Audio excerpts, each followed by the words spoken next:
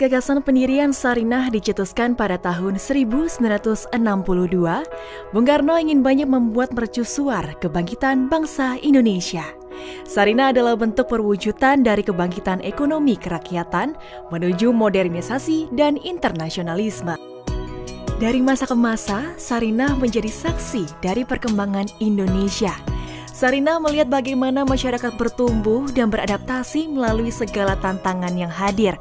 Sarinah terus menjadi sentra aktivitas bagi masyarakat untuk memasarkan inovasi dan produk dalam negeri di jantung ibu kota. Transformasi Sarinah adalah sebuah momen yang dinanti-nantikan masyarakat Indonesia. Sebuah pusat perbelanjaan yang didesain untuk memberikan ruang bagi produk dalam negeri yang telah dikurasi. Pemugaran gedungnya tetap menjaga kelestarian aspek cagar budayanya, namun interior, fasilitas, dan pengalaman berbelanja akan disesuaikan dengan perilaku konsumen masa kini dan masa depan. Sarinah diharapkan menjadi destinasi wajib kunjung bagi wisatawan dalam dan luar negeri. Ruang rumah Sarinah terbagi menjadi delapan buah segmen lantai. Masing-masing ruang tersebut kami beri nama antara lain Pasar Nusantara, Pusaka, Untayan, Kreasi, Hayat, House of Sarinah, Cakrawala, dan Tanah Nusa. Melalui konsep community mall, Sarinah memberikan ruang publik yang memiliki elemen historical, urban linkages, urban forest, serta urban living. Kami ingin mengajak Anda untuk menjadi bagian dari semangat baru Sarinah. Semangat yang diwariskan oleh para pendiri bangsa untuk bisa menjadikan Indonesia menjadi salah satu sentral ekonomi dunia. Bersama, mari kita tunjukkan kekayaan karya Nusantara kepada dunia. Sarinah, panggung karya Indonesia. Hi, welcome to Sarina Jakarta Content Week 2021, sponsored by Brimo.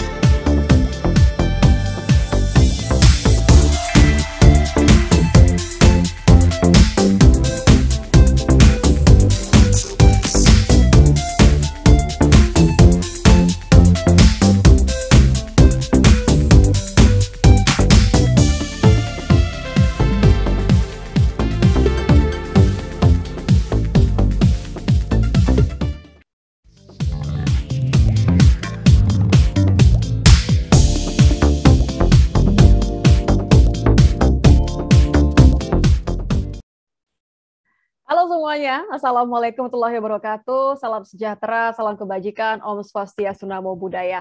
Selamat datang di Sarina Jakarta Content Week 2021 yang disponsori oleh Brimo serta Dinas Pariwisata dan Ekonomi Kreatif DKI Jakarta. Acara ini diselenggarakan oleh Yayasan 17.000 Pulau Imaji dan Frankfurter Buchmesse. Dan saya, Nitya Anissa, akan memandu sesi Lead Film Close-Up Career as Filmmaker. Ini merupakan bagian dari Lead Film, sebuah festival film, film yang uh, memang untuk pemutaran film-film art house, baik dari dalam maupun juga dari luar negeri. Ada diskusi, seminar, talk show seperti kali ini soal isu-isu dan tren di industri film. Kalau kita lihat memang industri film Indonesia ini uh, sekarang tidak lagi hanya diisi oleh film-film cerita yang panjang ya, tapi juga film-film pendek dan isinya pun mengusung isu-isu yang lebih kaya, lebih kompleks, lebih penuh warna ya kalau kita lihat ya, dan pastinya mengangkat uh, cerita dari berbagai daerah di pelosok Indonesia. Nah, salah satu film pendek Indonesia yang menonjol dan mengandung ciri-ciri yang tadi Nitya sebutkan, ini udah kelihatan ya di samping kiri ini. Kita akan bahas soal film Tak Ada Yang Gila di Kota Ini. Karya sutradara Regas Banuteja, diproduksi oleh Rekata Studio tahun 2019. Jadi ini film pendek, eh, ceritanya berbahasa Jawa juga, dan yang hebat karena film tak ada yang gila di kota ini, apresiasinya luar biasa, sorotannya luar biasa, dukungannya luar biasa. Tidak heran ketika memenangkan Piala Citra FFI 2019. Nah, kalau judul internasionalnya kan No One is Crazy in this Town ya. Uh, aktornya Oka Antara tayang perdana atau world premiere ini kan di Busan International Film Festival tahun 2019 juga. Kompetisinya juga ikut di sana. Nah, setelah tayang perdana di Busan International Film Festival, film tak ada yang gila di kota ini juga masuk kompetisi terus di berbagai festival bergengsi lain lah di dunia. Antara lain di Sundance Film Festival 2020, Clermont-Ferrand International Short Film Festival 2020, hingga Locarno Film Festival 2020. Jadi Niti akan mengundang sutradara yang memang meramu sedemikian rupa film tak ada yang gila di kota ini. Nah, sebenarnya uh, film Tak Ada Yang Gila di Kota ini bukan uh, film pertamanya Regas ya. Karena sebagai sutradara, sebagai penulis, uh, Regas ini juga sudah uh, sebelumnya membuat film-film pendek yang juga mencuri perhatian publik pastinya ya. Uh, ada mungkin yang sudah pernah menonton dan ikutan mewek, ikutan pengen langsung memeluk ibu gitu ya dari film Lemantun. Uh, Lemantun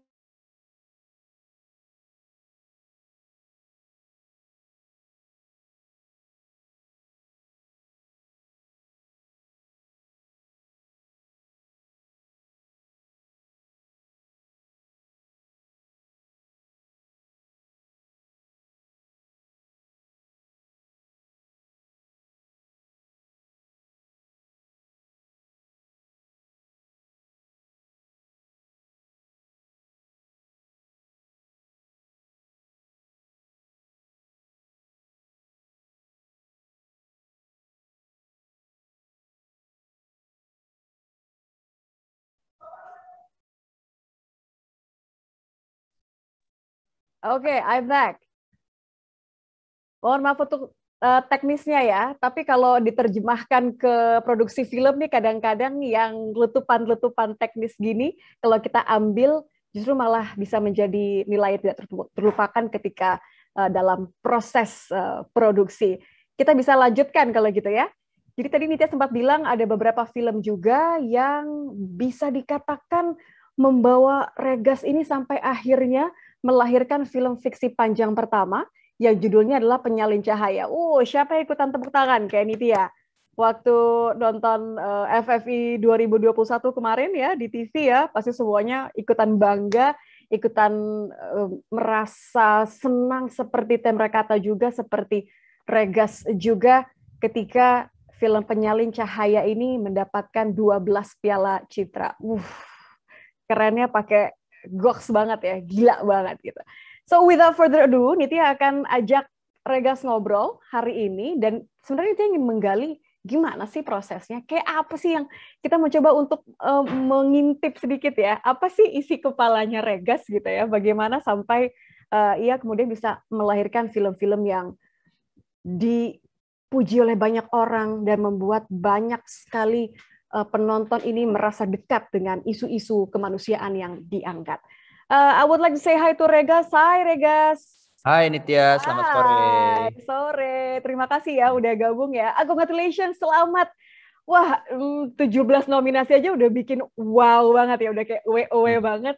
But then satu demi satu kategori dibacakan sampai akhirnya 12 piala citra termasuk sutradara film panjang terbaik 2021. Terima kasih.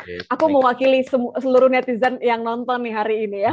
Gua ketepuk tangannya double double double double. Uh, congratulations uh, Nitya yakin bahwa ini adalah hasil buah dari kerja keras uh, Regas dan juga tim yang ini yang coba kita uh, ini yang pengen kita coba pelajari bersama. Mudah-mudahan nanti ada sinias-sinias muda juga yang ikutan hari ini yang nonton yang mungkin mereka ingin dapat tips dan proses kreatifnya Regas seperti apa sih kalau dilihat dari lulus SMA kan sebenarnya dirimu minat di dunia film ini kan udah udah terasa banget ya.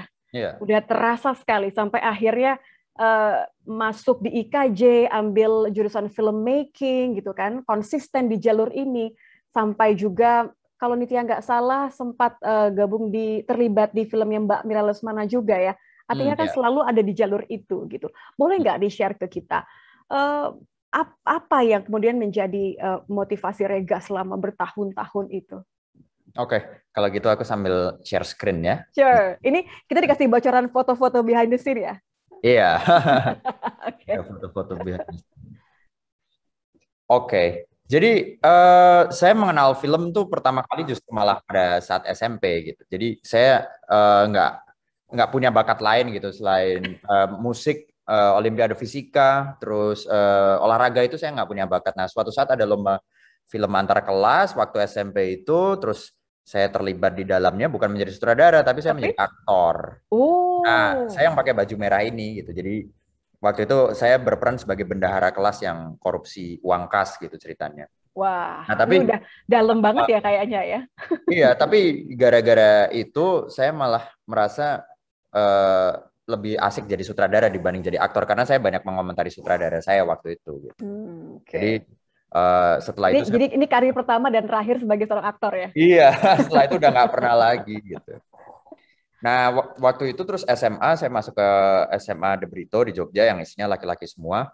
Eh, ada ekstrakurikuler, namanya ekstrakurikuler film gitu. Dan saya masuk dan setiap hari saya membawa kamera gitu ke sekolah, saya ngerekam apa aja gitu. Mulai jalan-jalan di sekolah tuh saya rekam pakai handycam dan jadilah beberapa film pendek dan hal ini semakin memantapkan saya kayaknya eh, film adalah satu bakat yang saya miliki dan saya bisa bercerita banyak hal gitu. Dan saya kemudian memutuskan untuk ambil kuliah film di Institut Kesenian Jakarta. Eh, meskipun perdebatannya panjang ya dengan orang tua waktu itu sempat nggak boleh dan eh, ada diusulkan untuk kuliah di tempat lain aja. Tapi akhirnya setelah 10 film pendek saya bikin waktu SMA eh, dan di film pendek ke-10 itu saya mendapatkan satu award. Eh, di situlah orang tua saya membolehkan untuk kuliah Yakin ya. film. Bahwa, bahwa ini nggak main-main gitu ya. Bahwa Iya. eh, Regas kecil nggak nggak hanya sekedar hobi tapi memang udah ini jalan ninjaku kayaknya udah panggilan hidup Benar, ya. semacam itu. Nah, di IKJ tentu saja eh, saya belajar semua basic film gitu, mulai dari membuat film dengan pita seluloid yang sekarang sebetulnya udah nggak diproduksi lagi, belajar editing, belajar penataan artistik, lighting, sound, semua aspek dipelajari dan setiap semester itu selalu membuat satu film gitu, satu film pendek. Dan hal ini menuntun saya pada satu tugas akhir gitu ya. Jadi kalau di IKJ itu ada skripsinya itu bentuknya bikin film saya membuat suatu film pendek lem- judulnya Lemantun yang berdasarkan kisah asli keluarga saya gitu. Saya Ini melakukan aku mewek loh Mas Regas. Aku Wah. mewek banget loh Lemantun ini. Iya, terima kasih. Nah, eh, saya syuting di Jogja dengan kru sekitar 40 orang gitu ya, gabungan dari Jakarta dan Jogja. Eh, dan film ini menceritakan tentang seorang ibu yang membagikan warisan lemari pada lima orang anaknya. Namun anak tengah dari keluarga itu tidak tahu harus membawa pulang lemari ini ke mana karena dia tidak punya rumah. Film ini bisa disaksikan di YouTube dan sebetulnya film ini yang pertama kali menuntun saya pada satu penghargaan di festival film XX1 Short Film Festival gitu. Nah dari situlah sebetulnya mungkin bisa dibilang titik pertama saya mulai serius lagi terjun ke dalam dunia film. Di saat yang sama juga saya juga pernah membuat satu film eksperimental dari letusan abu dari Gunung Kelut gitu ya, sebuah film tentang legenda Lembu Sura yang film ini hanya dibuat dengan budget Rp35.000, sangat murah hanya untuk membuat topengnya ini saja. sangat berbeda konsepnya dengan film Lemantun tadi yang drama. Tapi justru film dengan budget uh, semurah ini menuntun saya pada satu festival film internasional namanya Berlin International Film Festival atau Berlinale. Nah, ini pertama kali saya pergi ke Eropa dan menghadiri festival film gitu internasional. Uh, saya bertemu banyak sutradara dari berbagai negara, bertukar pikiran dan mengetahui bagaimana point of view mereka terhadap sinema dan penghargaan mereka terhadap film itu sangat bagus ya. Uh, diskusi pertanyaan-pertanyaan pun juga sangat kritis dan ini membuka pintu-pintu baru untuk saya uh, bikin film lagi gitu. Saya juga ketemu beberapa sutradara dan aktor aktris maestro seperti James Franco, Charlotte Gainsbourg, Darren Aronofsky, yang saya banyak belajar sinema dari mereka. Uh, lalu juga sebetulnya selain membuat film pendek, saya waktu kuliah itu sempat uh, magang gitu ya di satu produksi film layar lebar Miles Film Mira Lesmana uh, berjudul Sokola Rimba, sebuah film tentang uh, Butat Manurung di hutan Bukit 12 Jambi bersama sutradara Riri Riza. Di situ saya jadi asisten sutradara tiga magang gitu yang tugasnya mengatur figuran yang figurannya terdiri dari uh, orang asli suku anak dalam di Jambi. Uh, di situlah saya belajar berbagai macam aspek pembuatan film layar lebar gitu ya dan setelah lulus dari IKJ pun berhubung Mas Riri Riza juga pembimbing saya waktu tugas akhir waktu lulus saya menjadi asisten sutradara dua beliau di satu film berjudul Nyanyian Musim Hujan yang diperankan oleh Adinia Wirasti. Uh, di situ kita mengcreate satu set banjir gitu ya, menceritakan soal banjir di Jakarta yang studionya direka ulang sama persis dan dibanjiri uh, dengan sangat baik gitu ya.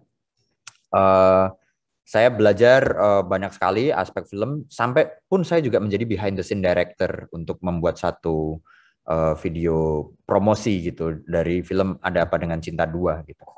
Jadi kalau uh, dulu saya Ada Apa Dengan Cinta Satu itu waktu saya nonton saya masih SD, ini uh, ketika saya menonton itu, eh malah sekarang saya terlibat menjadi salah satu kru dalamnya. Di Halo, so far uh, suara saya so masih. So far so good, masih oh, so far, masih so mas. Oke okay, oke. Okay. Uh, aku nah. aku sambil kayak gini, waduh, untung aku nggak nyebutin aku usia berapa waktu ADC pertama ya. ADC satu. Ya, nah selain uh, bekerja di industri film layar lebar uh, sebagai asisten sutradara, saya juga membuat film-film pendek yang menjadi ide cerita saya sendiri. Salah satunya adalah Perenjak. Saya syuting film itu tiga hari di Jogja dengan semua kru adalah teman-teman saya di Jogja. Uh, menceritakan soal seorang perempuan yang menjual korek api dengan harga sepuluh ribu rupiah per batangnya dan korek api tersebut bisa digunakan untuk melihat beberapa bagian dari tubuh perempuan tersebut. Nah, film ini menuntun saya pada satu festival internasional terbesar yang disebut Cannes Film Festival. Film saya terpilih dalam satu segmen yang disebut Semaine de la Critique Cannes. Kami beruntung, kami berlima berkesempatan untuk berangkat ke sana bersama-sama, eh, mengadakan world premiere, diskusi, eh, tanya jawab, bertemu dengan sutradara-sutradara internasional, maupun menghadiri red carpet dari world premiere sutradara-sutradara maestro seperti Jim Jarmusch, Brillante Mendoza, Ken Loach gitu ya, yang banyak filmnya saya pelajari sejak zaman kuliah. Nah, dan di malam penghargaan gitu ya, uh, kami sebenarnya nating tulus gitu ya, menang nggak menang, kita udah seneng ke Cannes, tapi ternyata kita uh, dianugerahi satu penghargaan film pendek terbaik di situ uh, perenjak sebagai film pendek terbaik di Semandela Kritik Cannes. Itu itu mampu uh, ngomong patah dua patah kata nggak tuh mas? Uh, se sejujurnya waktu itu ini uh, gemeter ya. Jadi mm -hmm. waktu diumumkan karena mereka pakai bahasa Perancis saya nggak nggak ngerti. Nggak enggak ya? Diumumkan tuh saya tetap di tempat duduk. Terus sampai uh, ada gambarnya, baru saya maju. Dan waktu di panggung ya saya masih masih trembling gitu, bergetar, bergetar butuh tarik nafas dulu. Nah, film ini juga menuntun saya beberapa festival internasional lain seperti Singapore Film Festival dan mendapatkan piala citra pertama saya tahun 2016. Waktu itu umur saya masih 23 tahun. Uh, ini film pendek terbaik di FFI 2016. Dan setelah itu juga terbuka banyak sekali peluang-peluang uh, seperti script development, funding, project market yang saya uh, jalani selama selama festival itu terus kemudian satu lagi tunggu sebentar Jadi benar-benar dari satu project uh, yang dikerjakan sepenuh hati walaupun uh, tidak mengharap apa-apa begitu ya tadi Ragas bilangnya. Benar, iya. Tapi justru pintu kesempatannya uh, kebuka uh, satu demi satu Lebar. sampai uh, tadi ada sempat kelihatan tuh ya kayaknya behind the scene-nya penyalin cahaya ya. Benar, ya. Nah, ini udah mau menuju pada uh, fase tersebut. Jadi Hmm. setelah berbagai rangkaian saya bertemu produser yang menjadi partner saya dan saya sangat cocok dalam segala visi yaitu Mas Adi Eka Tama.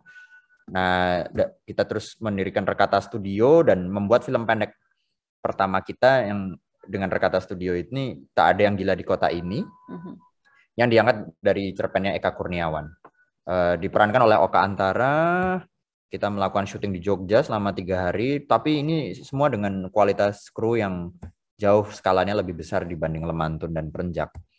Eh, jumlahnya juga banyak dan film tersebut jadi me- kita world premiere di Busan waktu itu Busan Film Festival. Oka Antara sama Sekarsari berangkat bareng ke Busan dan kita mendapat Piala Citra kedua di FFI 2019, film pendek terbaik juga. Tapi pengalaman yang paling berharga adalah kita berangkat bersama untuk ke Sundance Film Festival di uh, Amerika gitu ya. Suatu festival di yang menjadi festival tandingannya Oscar gitu ya. Uh, ini lebih dari part independen dan art house-nya gitu, di Park City Utah.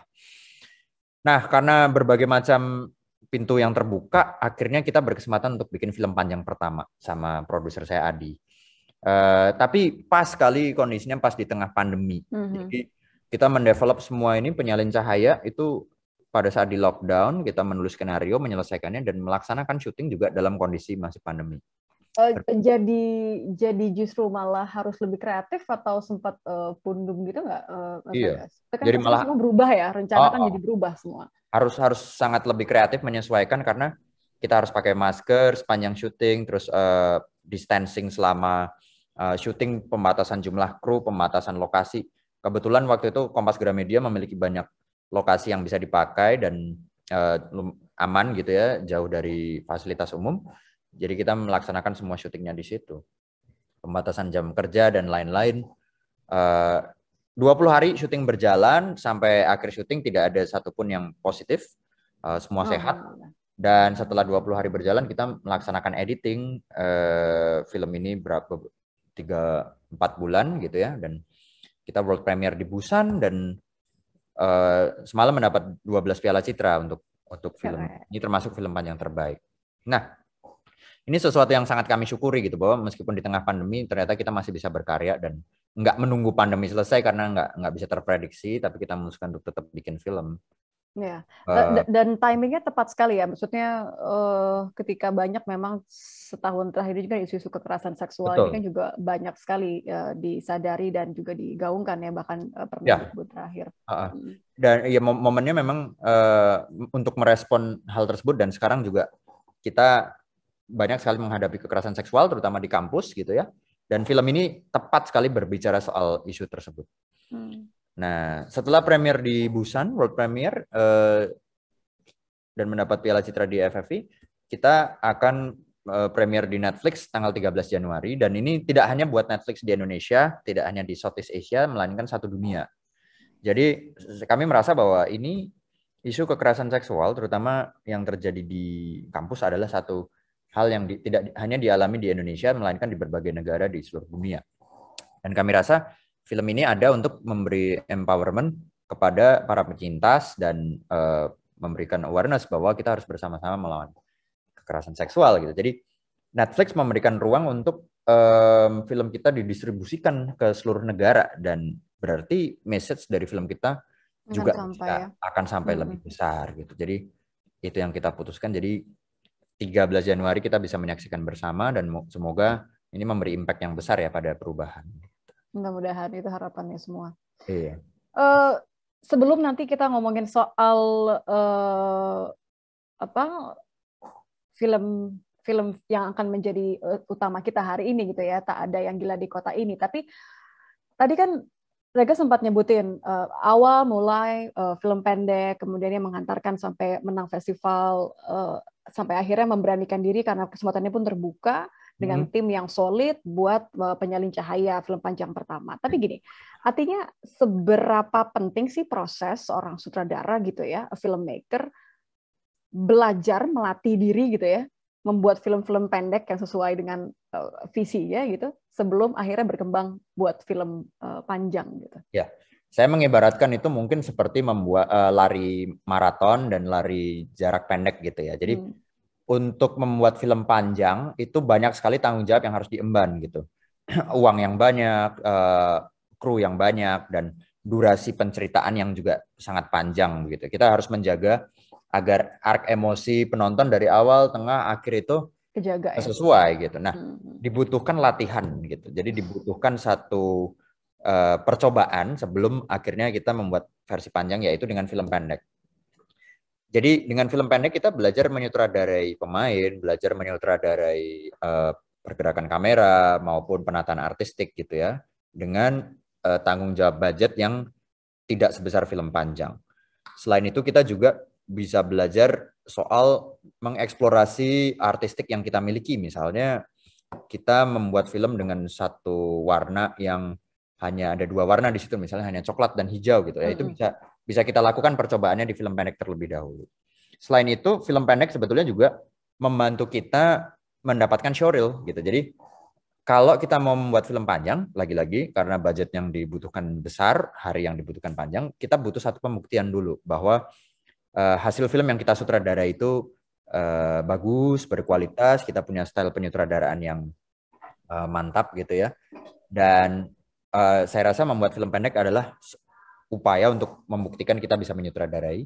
Kita bisa tunjukkan itu ke produser, kita bisa tunjukkan Jadi itu nilai, ke nilai jualnya nambah ya? Iya, uh, ke pemberi dana. Apalagi kalau kita mensubmit film pendek tersebut ke festival film dan uh, mendapat apresiasi, tentu saja kepercayaan orang untuk memberikan investasi pada film panjang kita gitu ya untuk uh, dibikin itu lebih besar gitu. Oke, okay.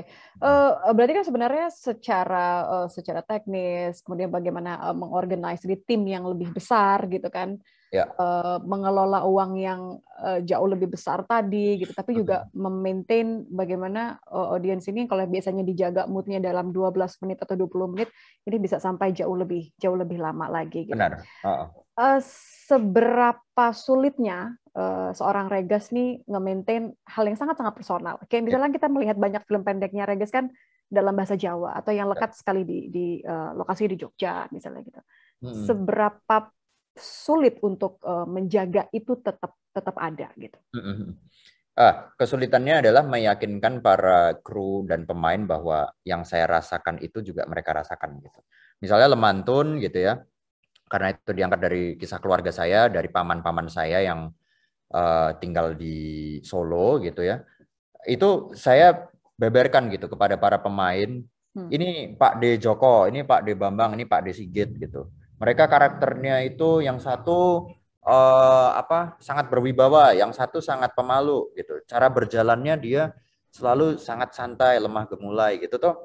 Saya saya jelaskan satu persatu, saya sambil foto gitu. Ya. Kalau ada video rekaman HP cara mereka berbicara juga saya tunjukkan gitu ya. Saya kasih background. Oh, ini Pak Desi Get itu waktu masa kecil uh, dia pernah uh, tersiram air panas gitu, misalnya tangannya sehingga dia uh, memiliki trauma gitu. Jadi background-background itu saya transfer ke benak mereka dan kebetulan karena mereka adalah aktor-aktor yang sangat baik gitu ya. Mereka langsung bisa nangkep, oh Pak D Bambang itu karakternya seperti ini, Pak D Sigit seperti ini sehingga rasa personal saya itu juga langsung mereka sampaikan, nggak hanya saya sendiri yang merasakan gitu. Uh, memang butuh waktu lama dan butuh kesabaran dalam membuat background tersebut gitu ya. Tetapi jika kita semakin rajin dan semakin detail dalam memberikan aspek-aspek background karakter, rasanya rasa sedih yang saya rasakan itu juga semakin bisa tertransfer ke akan nyampe ya uh, ke penonton. Kalau kalau saya nggak mengambil mengerjakan PR itu, saya hanya sekedar merasa oh kisah ini sedih menurut saya pribadi gitu. Hmm. Tapi penonton nggak akan merasakannya gitu. Atau oh uh, jokes ini bercandaan dialog ini lucu.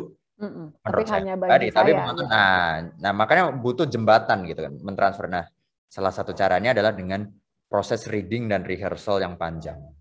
Tapi uh, uh, kan ini biasa ya proses reading itu kan juga kadang-kadang ada masukan dari pemain, ada masukan dari uh, dari tim yang merasa bahwa oh ini lebih bisa diterima, oh ini kemudian harus diadaptasi supaya lebih banyak orang yang uh, merasa lebih relate gitu kan, yeah. kayak tadi misalnya jokes atau uh, adegan-adegan gitu. Itu proses yang juga dilalui. Uh, yeah. Seberapa sering akhirnya uh, Regas oke okay deh, it, it, it makes sense ternyata ya gitu. Saya Benar. ikutin kata kata pihak ya. lain gitu. Walaupun dalam hati ini kayaknya mm, enggak ini seperti yang saya pengen. Ya. ya benar, itu tantangan berikutnya karena dengan bekerja bersama kru dan pemain yang kepalanya sangat banyak, Beda -beda. mereka pasti tentu saja memiliki preferensi dan subjektivitas pribadi terhadap satu cerita gitu ya, uh, atau terhadap satu feelings uh, menurut saya peran sutradara di sini adalah sebagai seorang chef gitu. Jadi kalau kalau dia adalah kepala chef di suatu dapur, dia akan mencicipi setiap uh, rasa yang dibikin oleh uh, kru-krunya gitu kan. Jadi misalnya uh, kru pertama membuat sup uh, yang tingkat keasinannya perlu diturunkan gitu. Atau kru kedua dia membuat daging yang tingkat kematangannya terlalu rare gitu. Atau kru ketiga membuat satu dessert yang terlalu manis. Jadi si chef ini eh, kepala chef ini bertugas untuk oke okay, manisnya turunin sedikit, terus yang rare uh, sticknya dibakar uh, sedikit lebih lama sehingga suhunya sekian. Jadi se seperti mendengar usul-usul para kru, misalnya sinematografer, gimana kalau kita buat lampunya agak gelap? Oke, okay, gelap bagus, tapi uh, penonton tidak akan bisa menangkap informasi, jadi terangin sedikit 20%. Gitu. Hmm. Atau kemudian uh, si pemeran utama Tri gitu yang bermain di film Lemantun dia menyarankan oh Mas gimana kalau aku bikin Mas Tri ini berjalannya agak memungkuk? Oke memungkuknya seberapa? Gitu. Memungkuk rendah sekali atau agak dinaikkan gitu. Jadi itulah fungsi sutradara gitu. Uh, baik untuk menerima menerima usulan tentu saja karena kita butuh point of view berikutnya tapi yeah. kita harus bisa menjaga harmoni gitu atau balance di dalam film Ngomong-ngomong soal balance, uh, Sregas, ini uh, Nitya juga ingin mengundang yang memang bergabung di platform lain, karena ya. mereka juga ingin terlibat dalam diskusi ini. Jadi silahkan kalau misalnya ingin bertanya, langsung diketik saja pertanyaannya, nanti akan uh, dipilihkan oleh panitia dan akan dikurasi sampai uh, ada di tangan Nitya, Nitya akan bacakan, kita jadikan sebagai bahan dari diskusi. You can ask anything, uh, Anda boleh bertanya soal apa pun terkait dengan produksi film, terutama kalau nih misalnya ada sinias muda yang juga ingin mendapatkan uh, tips uh, dari seorang uh, Regas gitu ya. ya. Jadi ya. mumpung ada Regas di sini, jadi bisa bisa menjawab, bisa sharing apa yang jadi uh, pertanyaan di benak teman-teman uh, di sini. Oh, sudah ada pertanyaan nih, uh, Mas Regas. Aku tak ini ya, aku bacakan dulu ya. Hmm. Ini dari Bunga. Pertanyaannya Bunga gini. Film merupakan medium yang bisa digunakan dalam menyampaikan pesan untuk audiens yang luas. Ya. Dampaknya ya. juga luas harapannya. Nilai-nilai dan pesan-pesan apa yang Mas Regas ingin sampaikan melalui film yang dibuat? Menarik nih, Mas. Ya, rata-rata film yang saya bikin adalah respon untuk sesuatu yang saya anggap itu uh, kurang benar gitu ya. Bagi subjektivitas saya itu tidak ideal atau tidak benar.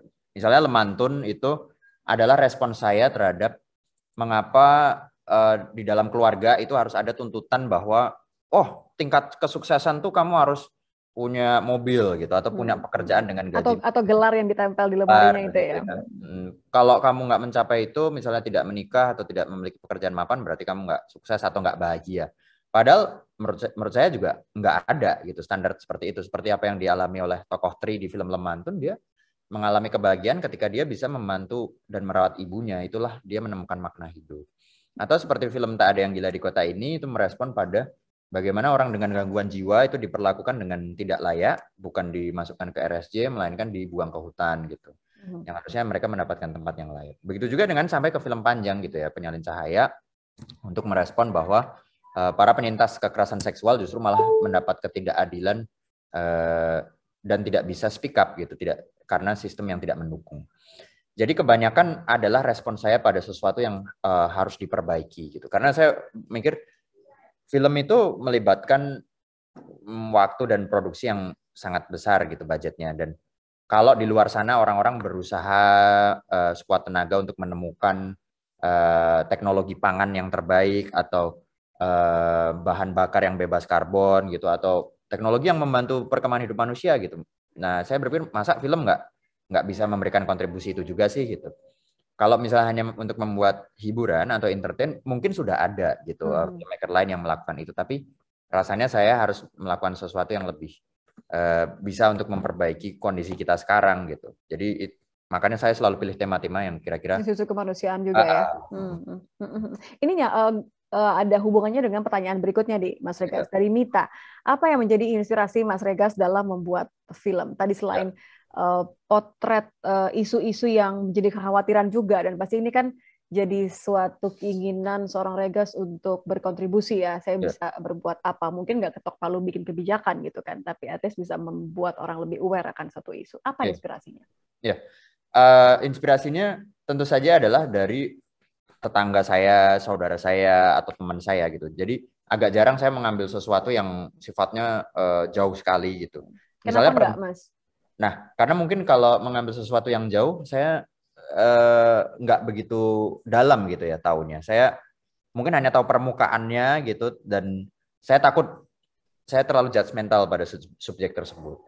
Nah, misalnya yang terjadi di Perenjak itu itu adalah kejadian yang terjadi di teman saya SMP gitu, atau Lemantun paman saya gitu kan, ataupun eh, penyalin cahaya juga adalah peristiwa yang terjadi di circle eh, tempat tempat saya bekerja atau tempat saya belajar gitu tuh uh, banyak yang terjadi. Jadi saya selalu mengambil yang dari dekat dan saya biasa memadukannya dengan satu bentuk em, games gitu ya. Jadi eh, games ini dalam artian satu permainan yang digunakan untuk mempertanyakan eh, perilaku kita sehari-hari. Seperti misalnya lemantun, Mhm. pembagian warisan lemari itu saya anggap jadi satu games gitu. Hmm, Oke.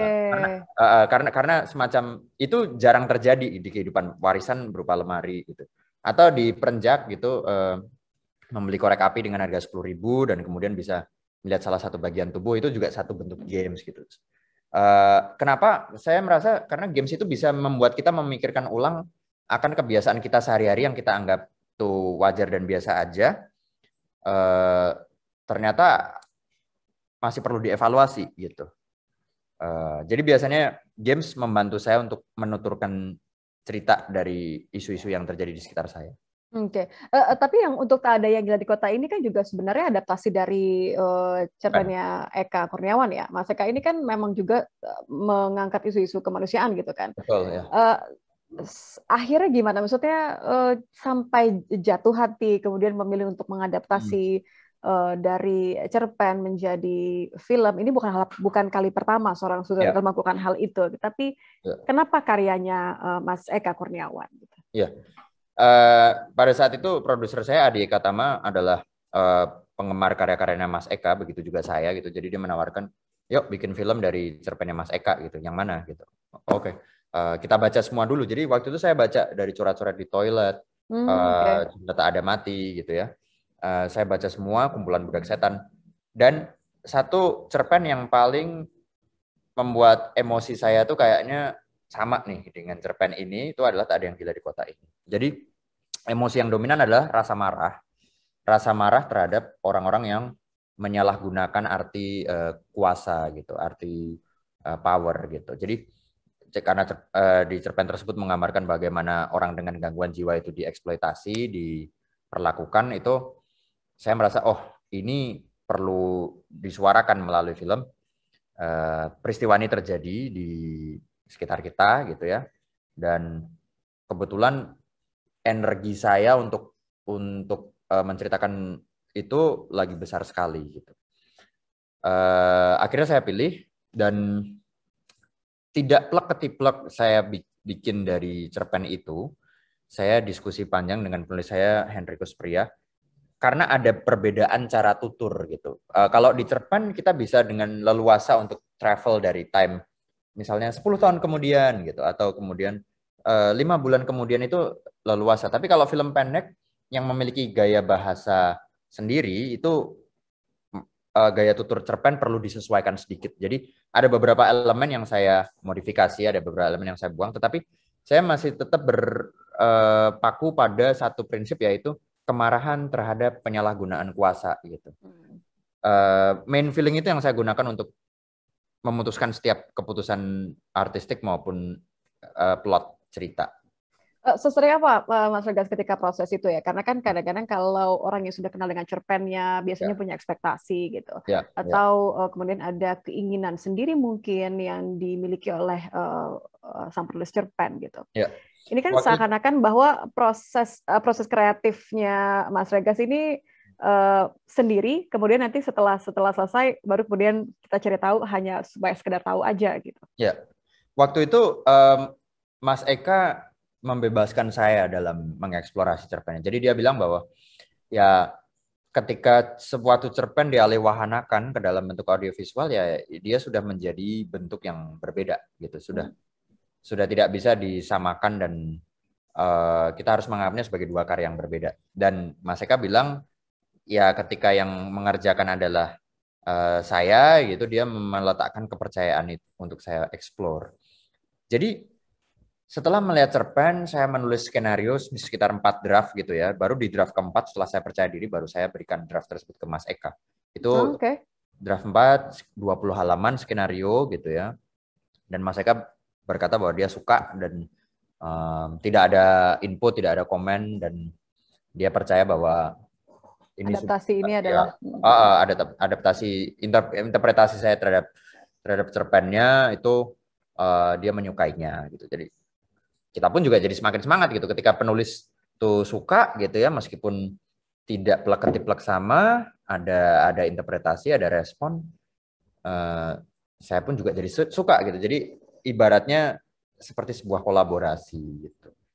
Nah sih uh, kolaborasi ini ini kata yang menarik. Tapi sebelum uh, kita lanjut, ada banyak pertanyaan soal film Penyalin Cahaya nih, Mas Regas. Kayaknya kita selipin iya. dulu kali ya. Ini nah. pertanyaannya yang pertama dari uh, Mas Ronald. Ini uh, saya yakin dari hati banget.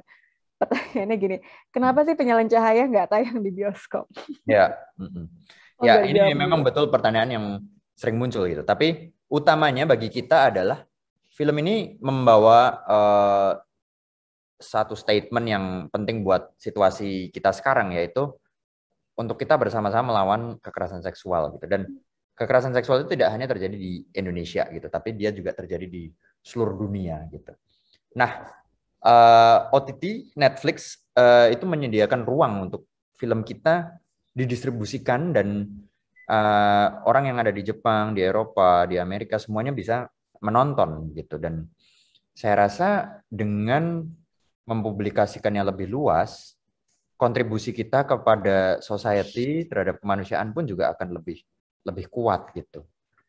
Uh, Itulah pertimbangan utama kenapa kami memutuskan untuk memasukkannya ke Netflix. Uh, karena ini isu yang memang sangat sangat global, uh, global issues dan memang ini sesuatu yang diharapkan kalau platformnya lebih luas uh, akan bisa meng juga lebih. ya akan reach-nya akan akan lebih banyak gitu. Iya. Uh, ketika proses kreatif penyalin cahaya ini uh, ini kan isu yang sangat sensitif ya, ya. gitu. Uh. Sesuatu yang yang sulit untuk diungkapkan sesuatu yang ada tapi kemudian sulit mau digambarkan begitu. Proses risetnya kayak apa, Mas Regas? Ya, kami meriset dari berbagai macam surat kabar atau uh, berita yang uh, ada di online gitu maupun kisah-kisah yang terjadi di sekitaran uh, circle pertemanan kita gitu. Apakah bagaimana kira-kira uh, penyintas itu menghadapi uh, kasus yang dia alami maupun bagaimana sistem itu mendukung dia atau tidak. Kami juga banyak dibantu oleh Hana Al Rashid dan Mian Tiara uh, dalam mengeksplorasi berbagai macam case yang uh, pernah diceritakan para penyintas ke mereka.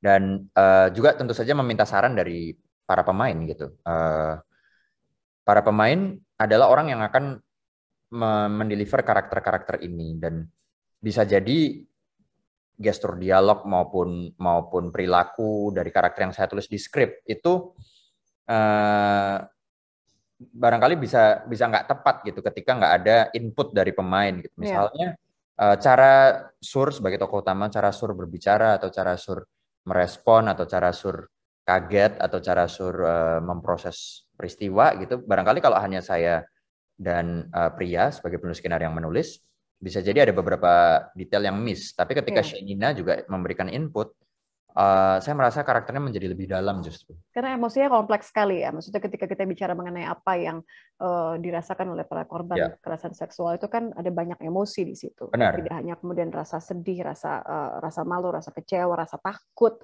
Ya. Itu sesuatu yang uh, harapannya kan bisa diterjemahkan dengan baik lewat film ini. Benar. Ya, dan yang dominan kan adalah tentu saja trauma yang tidak tidak semudah itu hilang gitu. Nah, eh, dengan berbagai input dari pemain ini saya menjadi oh oke berarti ada sisi yang pada saat menulis tuh eh, belum saya masukkan gitu. Kemudian ini menjadi menjadi lebih kaya gitu karakternya. Ada nggak Mas Regas? Ini juga pertanyaan dari yang masuk nih. Ada nggak kemudian satu hal atau boleh beberapa lebih dari satu hal yang yang jadi bekal gitu untuk uh, proses sampai akhirnya penyalin cahaya ini dibuat dari dari film pertama yang dibuat sampai Ya. Uh, tak ada yang gila di kota ini karena kan ada banyak emosi juga di situ gitu. Hmm. Eh, yang jadi bekal bagi saya eh, kalau dari film pendek sampai ke penyalin cahaya adalah em, bahasa yang universal. Kita mempelajari banyak bahasa gitu ya, ada bahasa Jawa, bahasa Inggris, bahasa Perancis gitu.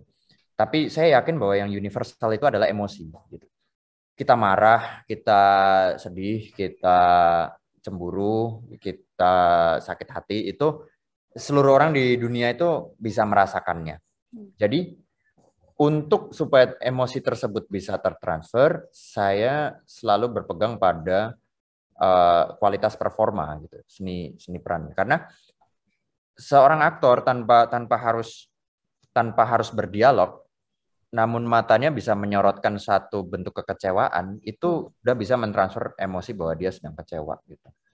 Atau dia hanya duduk diam tetapi eh, kita bisa merasakan bahwa dia belum makan sejak semalam itu bisa tertransfer dari mata gitu. Jadi saya selalu memprioritaskan dalam eh, reading rehearsal apa pun saya nggak boleh lengah dalam menata seni peran terutama emosi itu ya. mata karena eh, begitu kita bisa mentransfer emosi mau sepanjang apa pun cerita itu bergulir mau ke mana pun si tokoh itu bergerak eh, penonton akan bisa mengikutinya karena dia sudah meletakkan empati gitu kepada kepada si tokoh. Kalau dari awal dia tidak berempati karena dia merasa nggak believable gitu ya, nggak agak berjarak, kok kayaknya saya nggak pernah ya mengenal mengenal tokoh eh, dengan perilaku seperti ini, kok kayaknya ini scripted banget gitu atau ini panggung banget, drama banget gitu, nggak nggak ada di sekitar saya.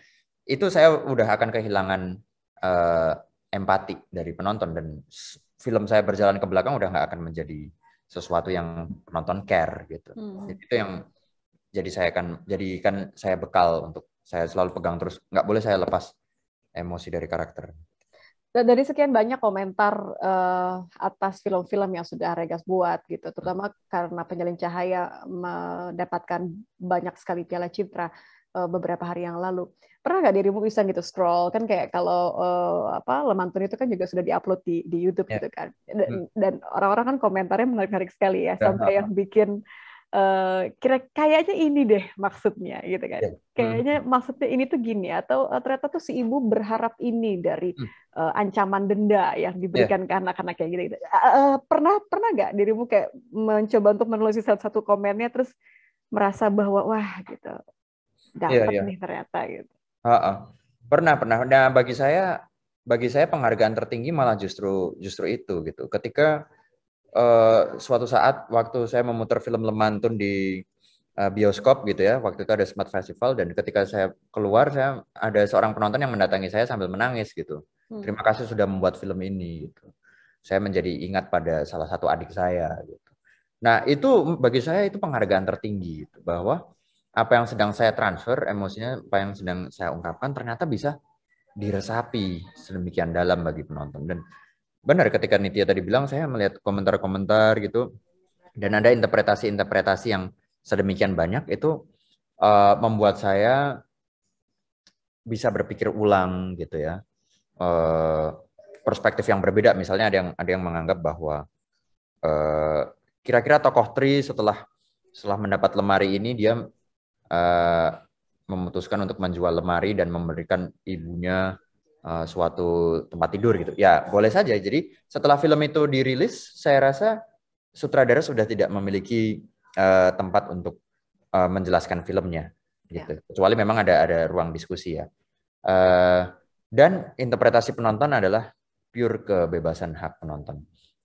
Pun banyak sekali, maksudnya selama ini tidak hanya komentar yang bagus-bagus aja gitu, banyak sekali kritik, banyak sekali yang pertanyaan dan saya menganggap ya memang itu kebebasan penonton dalam menginterpretasi kan seperti kayak saya membuat makanan gitu atau saya membuat kopi gitu. Saya suka satu misalnya satu kopi yang dengan metode V60 gitu. Saya suka sekali. Tapi ketika saya berikan ke uh, ibu saya gitu misalnya, ibu saya nggak suka, dia lebih suka cappuccino gitu. Hmm. Ya berarti memang memang seleranya berbeda gitu. Karena Bukan film adalah masalah selera ya, bukan Ya. masalah filmnya eh, bagus atau tidak, Ah, tapi ah. masalah selera. Oh, selera iya. Oke, Eh, Mas Regas, ini ada yang tanya juga dari Sutan. Setelah penyalin cahaya, film berikutnya yang akan diproduksi mengenai apa, Mas? Nah, ini mungkin agak-agak bocoran ya. Iya iya. Ini eh, masih konfidensial, belum belum berani cerita. Tapi saya akan membuatnya langsung tahun depan. Jadi kenapa? Karena Tahun depan tuh udah tinggal satu setengah bulan lagi loh, Mas. ya di pertengahan tahun depan kita akan syuting gitu ya, sebuah film drama. Tapi buat bayangannya, eh, again ini akan berbicara lagi soal kemanusiaan dan satu bentuk eh, concern saya pada suatu hal yang kita harus perjuangkan. Gitu. Oke. Nah, Eh, belum bisa cerita gitu ya, tapi mulai dari sekarang saya dan penulis saya pria kembali menulis cerita itu bersama-sama sebagai tandeman saya skenario. Dan karena penyalin cahaya juga mendapat eh, respon yang bagus gitu sehingga kita langsung bisa berkesempatan untuk oke lanjut film kedua. Nah kenapa kenapa saya merasa kenapa nggak nunggu dulu setahun atau dua tahun? Ya saya rasa eh, cerita saya yang sedang ingin saya ungkapkan sudah siap gitu dan semua sumber daya juga eh, sudah mendukung gitu. Jadi Dan terlatih di eh, pandemi ya. ah, ah, masih bisa memproduksi. masih bisa melewati dan ketika kita eh, bisa menjaga kontinuitas eh, berkarya, kita juga memberi sumbangsi yang besar pada industri film Indonesia. Gitu. Apalagi em, untuk menjaga konsistensi peran kita dalam festival film internasional, eh, di mana Indonesia juga akan mulai dilihat sebagai suatu negara yang berpotensi untuk eh, memberikan memproduksi film-film yang besar dan tercipta ko- kolaborasi dengan negara lain gitu. Karena negara-negara seperti Thailand, Filipina, Korea, mereka sangat aktif bahwa setiap tahun tuh selalu ada satu film baru di sirkuit festival internasional. Nah, saya rasa Indonesia juga harus mengambil peran itu. Ya. Eh, ketika lebih banyak lagi sinias yang kemudian me- melahirkan karyanya, artinya kan akan menjadi benchmark tersendiri ya. Ya. Jadi akhirnya kita terlatih untuk membuat suatu film yang tidak hanya eh, relate, tapi juga syarat makna gitu ya, dan itu bisa jadi kebanggaan eh, sendiri. Eh, Iya. selalu mengenai penghargaan, tapi eh, bagaimana itu bisa bisa mengangkat isu-isu yang hangat di di tengah masyarakat kita. Ya. Eh, akhir-akhir ini ada ada film atau oh, film yang menurut Mas Vegas nih oh, such an inspiration gitu. Jadi uh, personal inspiration melihat untuk untuk uh, karya-karyamu gitu. Oh, Oke. Eh, kalau yang akhir-akhir ini saya melihat, jadi mungkin bukan dibilang yang menginspirasi ya, tetapi mungkin bisa bilang saya kagum dan barusan juga film ini rilis. Film ini berjudul Dune, karya Denis Villeneuve. Hmm. Eh, satu film, Zendaya ya kalau nggak salah. ya, saya yang main. Zendaya sama Timothée Chalamet gitu. Maksudnya Hmm. di sini memang film tersebut memiliki treatment yang eh, komersial gitu ya. Eh, sebuah film sci-fi dan dituturkan dengan eh, berbagai macam CGI dan teknologi yang epic. Tapi yang membuat saya kagum adalah bagaimana sang sutradara Denis Villeneuve ini mengeksplorasi eh, dunia yang baru, membuat satu bentuk estetika yang baru gitu ya. Settingnya di masa depan, tapi eh, semua orang berpakaian dengan eh, pakaian kerajaan seperti kerajaan klasik gotik gitu ya. Hmm. Dan eh, ini menjadi satu apa ya, satu gambaran bahwa sekarang sudah tidak lagi kita mendikotomikan antara film komersial dan film art art house. Kalau dulu banyak sekali kita membedakan bahwa oh ya film komersial ya komersial aja, tidak memiliki kedalaman artistik. Oh film art art house ya pure artistik aja tapi buat jual dan aksesibel ke masyarakat nggak ada. Nah, Hmm. sekarang saya rasa batasan itu sudah sudah hilang, blur karena seperti Dune secara komersial dia bisa mendapatkannya, tapi secara artistik, mulai dari sejarah, mulai dari uh, filosofi yang coba ditawarkan, bentuk estetika baru yang ditawarkan itu juga dia mencakup. Begitu juga apa yang dilakukan oleh Parasite, Bong Joon-ho yang yeah. mendapatkan Oscar sekaligus Palme d'Or di Cannes gitu. Dia bisa berdiri secara komersial dan juga estetik. Nah, itu makanya ke depan rasanya akan saya explore uh, bentuk hmm. seperti itu. Jadi uh, sebagai seorang sutradara, sebagai seorang filmmaker itu yang yang menarik ya. Artinya batasan-batasan yang uh, membuka banyak sekali uh, peluang gitu ya. Uh, terakhir kalau gitu, uh, Mas Regas, boleh kasih uh, tips untuk peserta yang bergabung bersama kita. Sebagian besar adalah mereka yang kemudian ingin memproduksi film dengan mendapat apresiasi yang sama. Uh, ada pula yang memang pecinta film gitu, penikmat uh, karya-karyanya hmm. Regas gitu. Apa hmm. yang bisa uh, tips yang bisa diberikan untuk mereka? Uh, tips yang mungkin bisa saya berikan tentu saja adalah percaya kepada apa yang kita kerjakan gitu. Karena saya rasa di era-era ini dengan berbagai macam sosial media dan arus informasi yang begitu cepat, kita akan mudah untuk membandingkan diri kita dengan orang lain. Jadi uh, melihat apa yang sedang orang lain bikin, apa yang sedang orang lain capai, kadang juga bisa membuat kita minder ataupun membuat kita jadi malah uh, tidak mau berkarya gitu.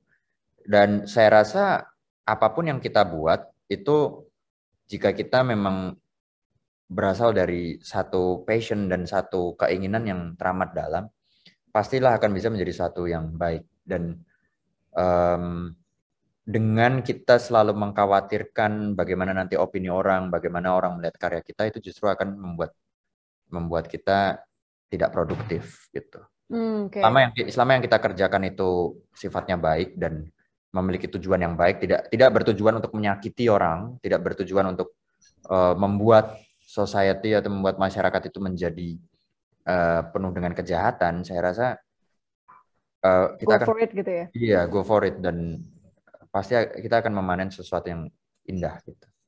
Oke. Okay. Uh, eh, bagi yang tidak sabar ingin menonton uh, film Penyalin Cahaya, kira-kira apa yang harus dipersiapkan dari hati terutama untuk perempuan-perempuan nih kan biasanya akan uh, akan lebih merasa relate ya. Benar. Tentu saja kita juga um, meletakkan satu trigger warning gitu ya untuk untuk film ini bahwa uh, film ini tentu saja akan apa ya? Uh, bisa atau kemudian beririsan dengan apa yang dialami oleh para penyintas gitu. Jadi uh, memang trigger warning yang kita letakkan adalah untuk memberikan suatu apa ya persiapan gitu untuk untuk menonton. Tapi saya yakin film ini tidak bertujuan untuk membangkitkan suatu trauma atau men-trigger gitu ya. Uh, film ini justru akan memberikan kekuatan dan uh, support gitu ya, empowerment terhadap uh, baik itu penyintas maupun orang-orang yang sedang berusaha untuk menciptakan support system yang uh, bagus, yang aman untuk untuk jauh dari mencegah kekerasan seksual. Oke, terima kasih uh, Mas Regas. Uh, atas nama Sarina Jakarta Content Week dan kurator Flat Film, saya juga mengucapkan terima kasih untuk partisipasi Anda semua dalam diskusi ini.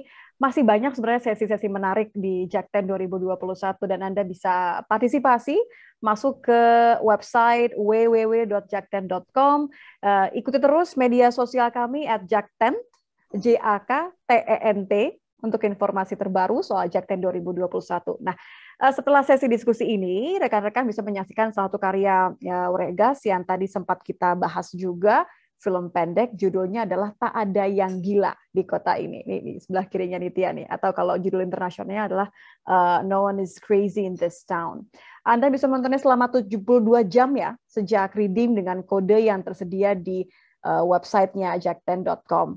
Uh, terima kasih sekali lagi uh, for, for the last time Nitya pengen dong uh, Mas Regas untuk menceritakan kasih sedikit pengantar soal film tak ada yang gila di kota ini dan uh, apa yang apa yang menjadi ekspektasi kita dari film pendek uh, karya Mas Regas ini. Oke, okay. ya uh, saya ulangi sekali lagi bahwa film ini diangkat dari cerpen karya Mas Eka Kurniawan, uh, salah satu penulis kebanggaan Indonesia dan uh, saya membuat film ini di tahun 2000 di tahun 2019.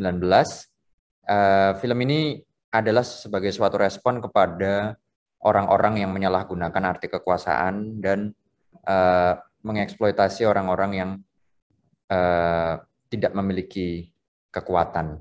Dan film ini juga sebagai suatu respon bahwa kita harus memperlakukan uh, orang yang memiliki gangguan terhadap kesehatan mental, kita harus menemani mereka dan kita harus uh, mengkampanyekan juga kepada orang-orang di sekitar kita untuk untuk selalu berpihak kepada mereka dan memberikan ruang atau support system yang baik karena mereka pun juga sesama manusia seperti kita.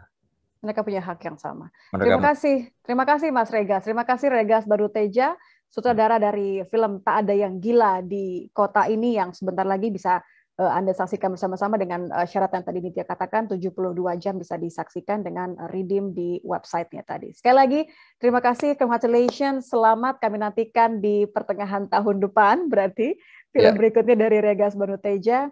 Uh, it's gonna be great, Nitya yakin, tapi tentu di Januari 13 Januari kalau saya nggak Ya. salah ya. Ya. 13 Januari 2022 film Penyalin Cahaya akan bisa dinikmati oleh pecinta film di platform Netflix. Terima kasih sekali lagi Mas Regas Terima sehat-sehat. kasih. Terima Terima- kasih ya. sudah gabung. Eh, terima kasih audiens yang eh, bergabung di sesi diskusi kali ini. Saya doakan supaya Anda selalu sehat eh, selama menikmati film eh, Tak Ada Yang Gila di Kota Ini atau No One is Crazy in This Town. Saya Nitya Anissa, pamit. Wassalamualaikum warahmatullahi wabarakatuh. Selamat sore, salam sejahtera. Salam sehat.